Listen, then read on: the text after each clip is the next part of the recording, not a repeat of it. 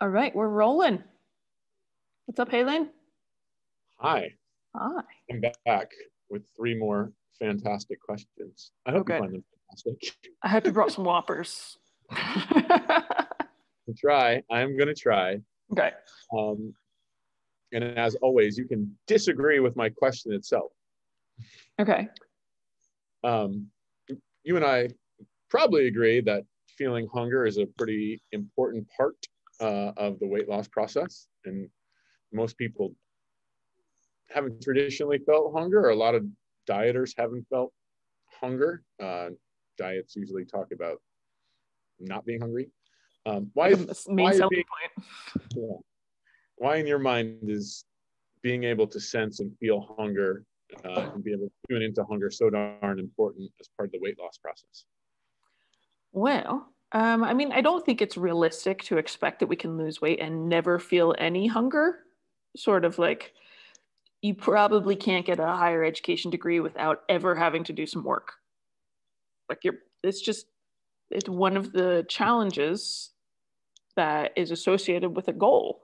And so, you know, change change of all types is typically going to have some form of discomfort or work that we we need to do. So, I mean, the diets that say you can lose all this weight and never feel hungry. I don't know if anybody's ever had that experience. Please write to me if you've had that experience because I want to hear about it. Um, uh, I, and I do think there may be some circumstances where people aren't hungry due to pharmaceuticals or medications or, or diet sort of drugs.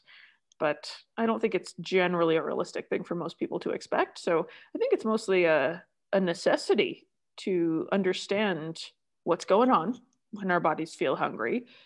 If that's a scary thing, if it means that we're in danger, if we are doing something wrong, if we get hungry, does it mean I'm going into starvation mode? You know, I think those are um, very legitimate questions. And when you and I teach people that hunger is a totally normal thing, that it's a sensation your body's going to use to tell you about your food intake and if it's needing more or if it's getting too much. Um, and I have found that most people, even if they initially are staunchly in like the I hate hunger camp, are able to change their feelings about it if they have an open mind and they just try experiencing it like a fresh start. Like hunger, you and I have an ugly past. We've fought a lot. I think I just want to meet you in a neutral environment.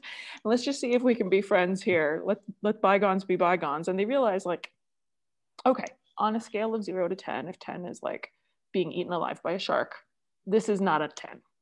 This is not even an eight. This is like a three most days by the time I get to eat.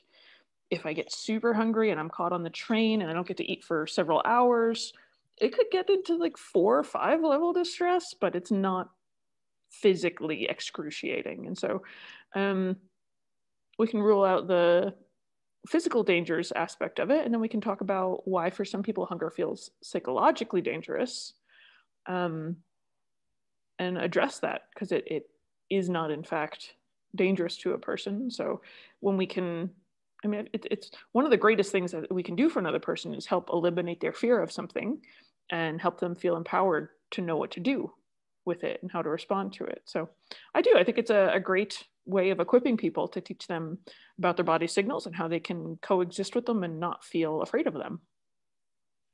So, uh, agree or disagree, hunger is as natural a body signal as tiredness and having to go pee. 100% agree. Yeah. 100%. Cool. Totally shifting gears. So, probably most, uh, at least my experience, maybe yours, like people, if any meal is skipped, it's breakfast. People go decades without ever eating breakfast, not necessarily as a strategy, but just not hungry in the morning, don't have time. Um, so, for those folks who had breakfast in a long period of time, how do you uh, encourage breakfast and how do you sort of get them? Uh, what's the easy start to incorporate breakfast into your life? Sure. So d- people skip breakfast for different reasons. Sometimes they're like physically averse to food in the morning. They wake up, they're like, oh God, no, not now.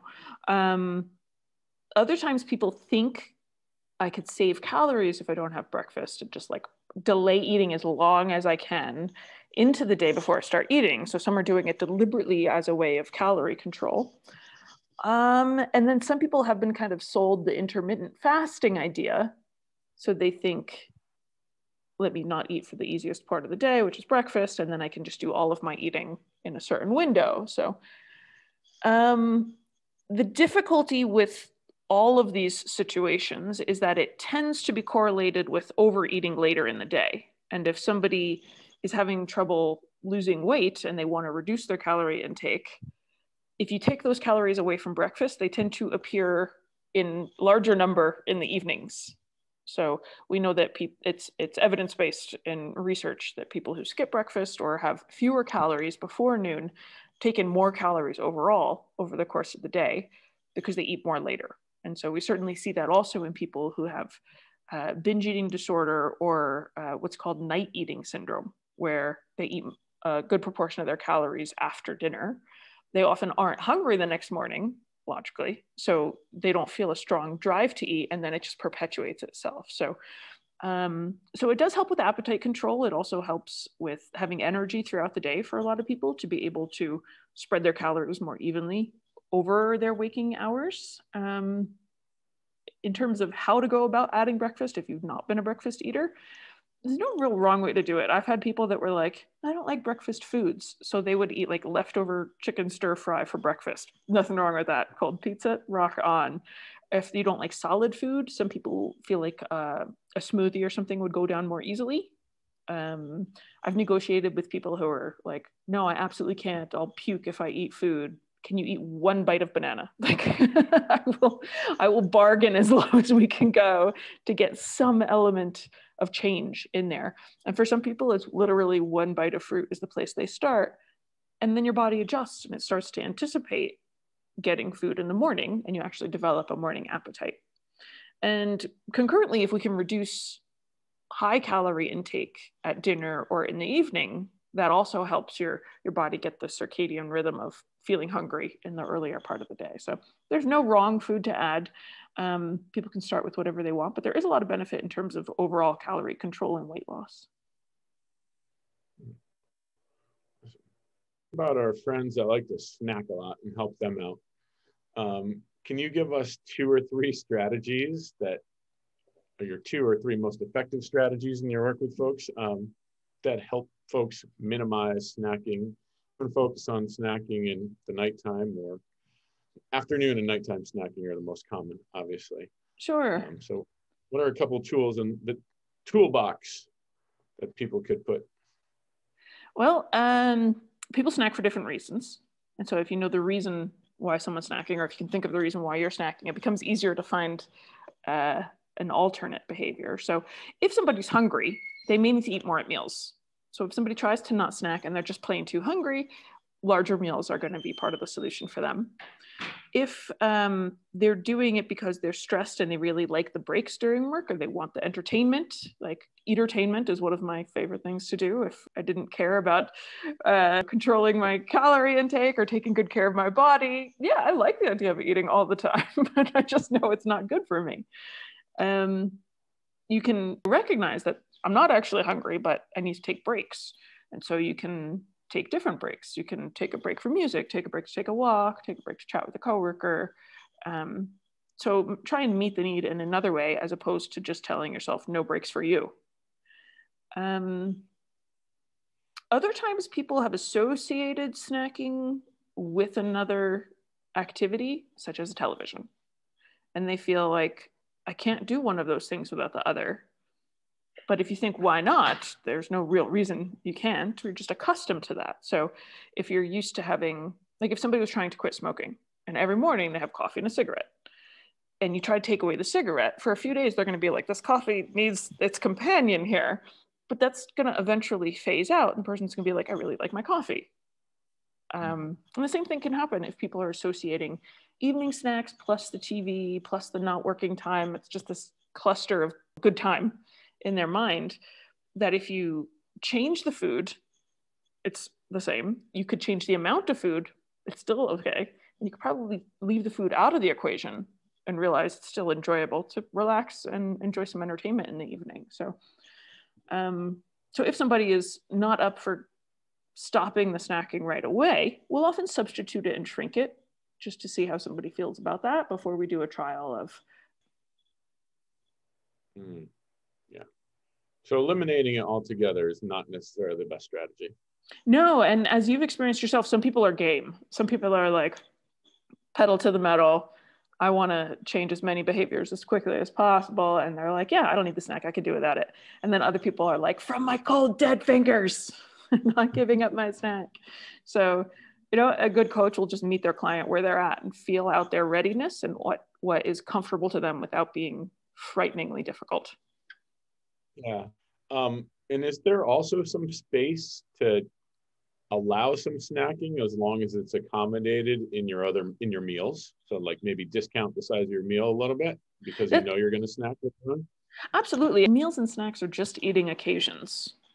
So right. you know if somebody's eating three or four times a day call them whatever you want. That's a pretty ideal frequency that should enable you to get um, hungry before eating and eat satisfied and get hungry again so you know there's absolutely nothing wrong with eating four times um, and there's nothing wrong with eating three times. If somebody wants to start adding in more eating occasions than that, it tends to be difficult because you're not hungry for one of them or you're not eating dissatisfied at one of them. And both of those are kind of not ideal. Um, so there's also the case for exceptions. Like, so as a rule, I try not to eat between meals. I try to eat my meals and have spaces between them. And I make exceptions when I travel because I get exceptionally anxious and exceptionally motion sick. So I will usually plan to eat dry carby things for as much of the plane flight as I possibly can. So I will like take a bag of multigrain Cheerios and like eat one Cheerio at a time for like three hours in a row because I'm just doing what I have to do to get through the plane flight. Um, and I usually figure I'm going to eat enough like pretzels and Cheerios over the course of a travel day that I don't need to include too many carbs with my meals. So I focus on getting some vegetables and getting some protein. And I just let myself snack for that day and I don't worry about it because something we do infrequently, like I generally say, something you do less than once a month is highly unlikely to cause a significant impact on your health or your body composition. So, yeah, if there's certain circumstances where it just feels really, really difficult to break up with the snacking habit, you may choose to keep it and just moderate the portion or think about what you can choose that feels like um, damage control. Like, mm-hmm. you know, eating Cheerios for a couple of hours is going to be less excess energy and sugar than if I ate M&Ms for two hours or, you know, what else you could think of. So um, yeah, there is something to be said for some, some of my clients do keep a snack on hand for special circumstances and it's, it's not the end of the world. That was awesome. I hope folks find that helpful. I hope so too. Thanks. You crushed it as always.